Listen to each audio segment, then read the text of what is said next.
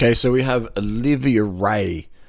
Olivia Ray is a professional women's cyclist, very high level, very, very experienced rider, good in the bunch, good tactics, and uh, she has recently been busted, suspended for being honest about an experimental phase of clenbuterol and aka oxandrolone two compounds which I'm like, why would someone want to take this as a female cyclist? It's like, no way.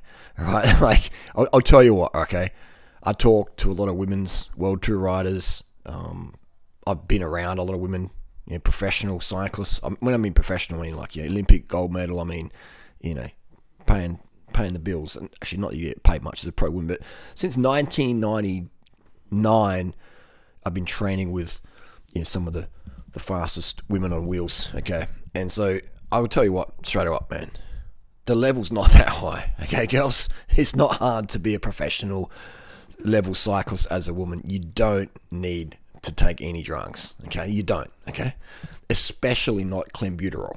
like clenbuterol is the dumbest drug a cyclist can take.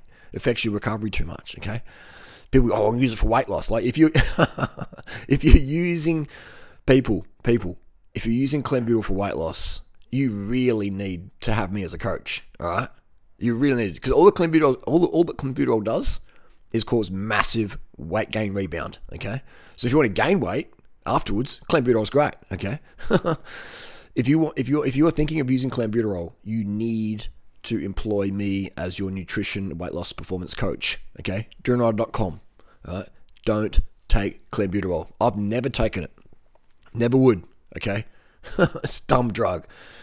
Um, the only positive out of clenbuterol is it enhances breathing, but you could use other compounds. You could use you know, Ventolin, salbutamol. You could use uh, dextroamphetamine, Adderall, etc. You know, low dose. So clenbuterol is just dumb. Okay, it's just dumb drug to use. Um, and let's talk about the next one. And now, now I've, I've used performance enhancing drugs. Okay, I've used it, documented it well since 2014. So I'm not the person who's going. Just, I'll, I'll be honest with you. You know, like you're not going to hear this opinion from anyone in cycling but me. Okay, unfortunate, but that's the truth. So the other drug that um, Olivia said she was taking was uh, oxandrolone, aka Anavar, which is highly faked.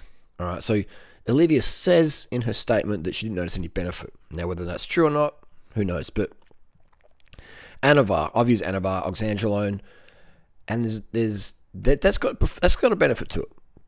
That's got a benefit to it. Um, the main benefit Anavar, Oxandrolone, in a low dose, is it will enhance red blood cell count. Okay, it'll enhance red blood cell count. The problem is though, it's often very much faked. Okay, so unless you're getting a prescription, like I don't recommend using Anavar unless you have a prescription for it. Okay, like I've used prescription grade Anavar from a doctor. Okay, prescription. Okay, quality, real Anavar, real oxandrolone. And yeah, it boosts your red blood cell count. So that's that's a drug that's got positive things, especially for women. You know, it's like it's almost like a EPO in pill form. But again, Anavar can cause a little bit of weight gain. You know, so it's like, you know, that's not something I really recommend cyclists take. Um, EPO's the gold standard, all right. But there's here's the thing: not many women out there taking EPO. Okay, there's not many out there taking EPO. Like the levels not that high.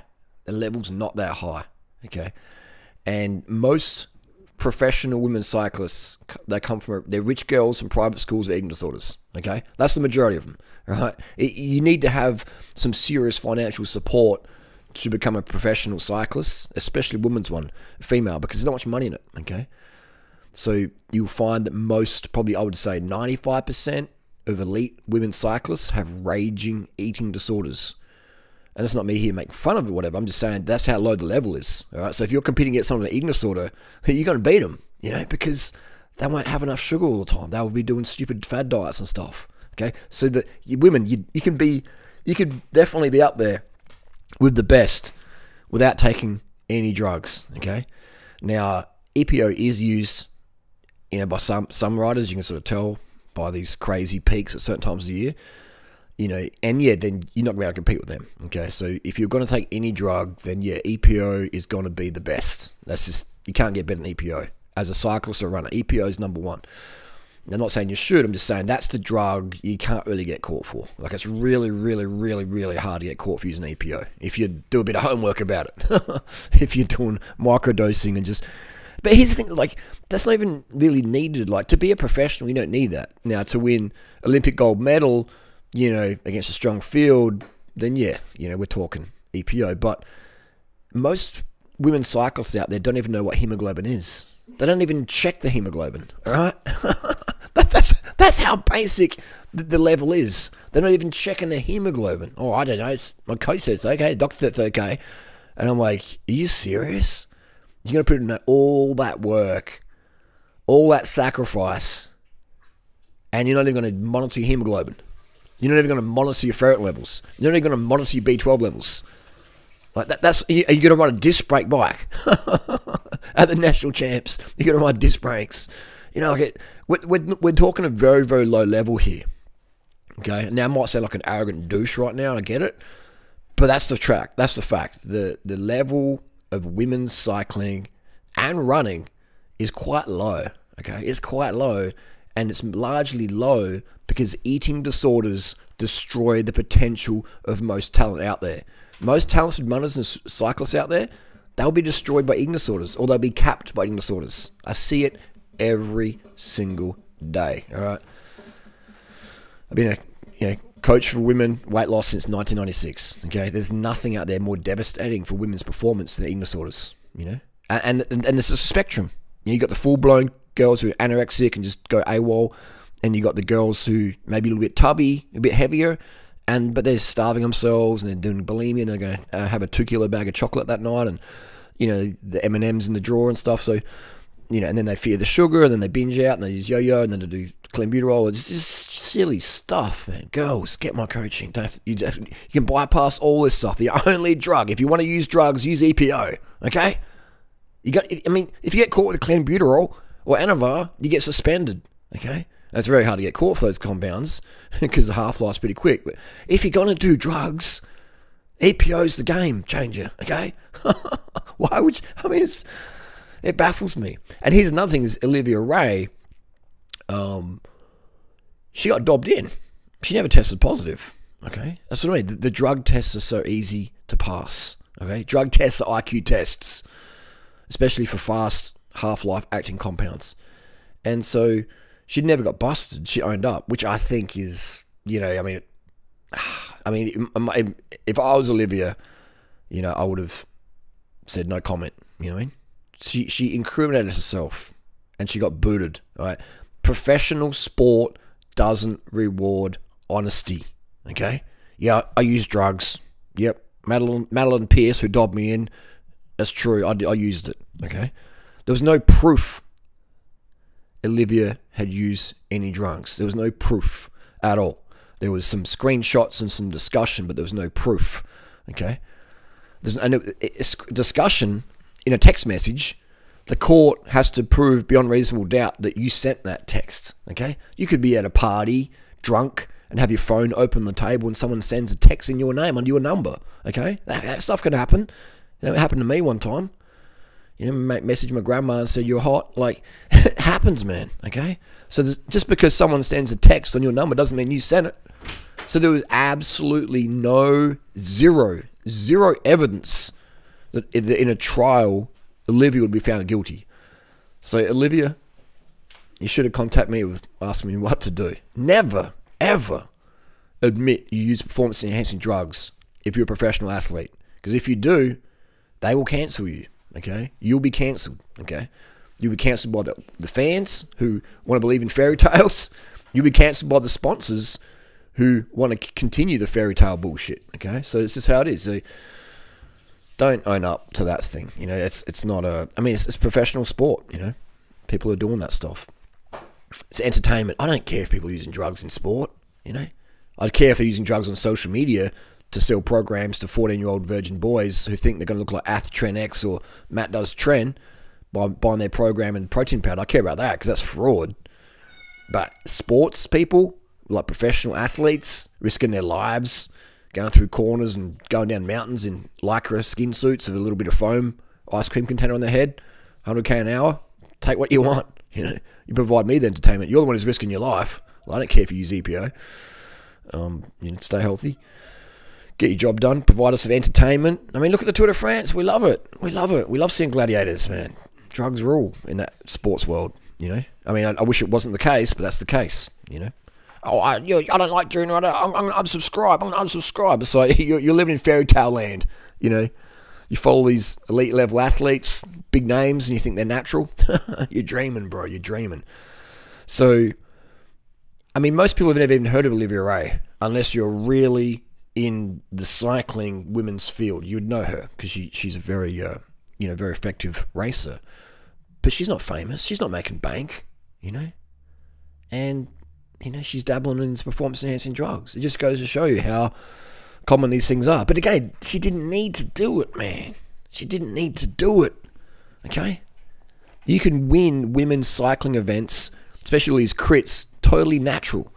You can do it. You know, the, the most thing you'd take would be iron supplements, check your ferritin first, B12, and maybe a breathing aid like asthma puffers, Ventolin, or Adderall. Adderall is really good for breathing, you know. Otherwise, doing it daily is going to affect your sleep and you're going backwards. And that's the deal. So, unfortunately, I feel that Olivia Ray will be cancelled unfairly. She told the truth, and the public doesn't like people who tell the truth about drugs. Okay, they'll cancel you. They cancel me. They cancel you. They just, yeah, it's not how it goes. But yeah, Olivia Ray, she's young. She's Natasha's age. She's born in 1998. She's just a baby. All right. She's just a baby. She means well. She's just, you know, following the, the, the templates that are out there.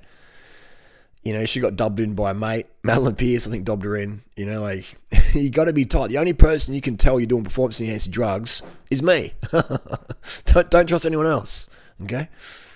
Um, you know, because, you know, that's just how it works in the world out there. Especially if there's a love triangle. Apparently, there's a love triangle going on there. So you know, it's, it's, it's dramas. But end of the day, Olivia Ray is uh, who loses out here. You know, loses out here. Now look, look at this. Look at this. Look at this picture here. All right, let's bring this picture up. All right, let's go to cyclingnews.com. You know. Um. All right, so look at this picture here. Okay, so so Olivia is winning this crit here. This is the Lions Den crit. I wonder if she got paid for that because they were a bit late with the prize money.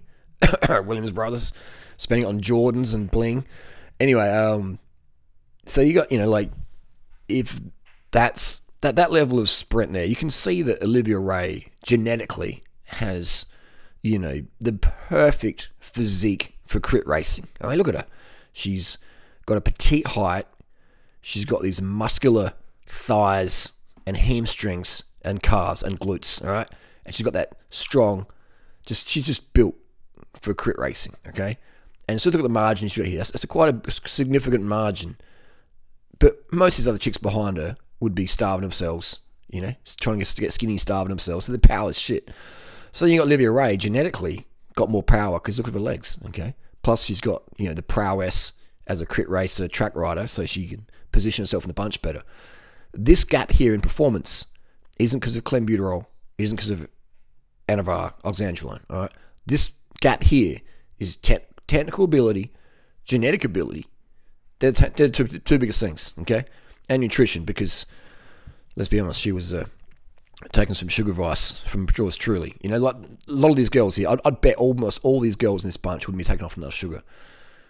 Olivia Ray, exception there. So, you know, so it's um, you know, that's just anyway. That's just the deal there. You know, this is you don't need girls. You don't need performance enhancing drugs to win most races. Uh, at in cycling level, you don't. But if you do want to take anything, stick with EPO.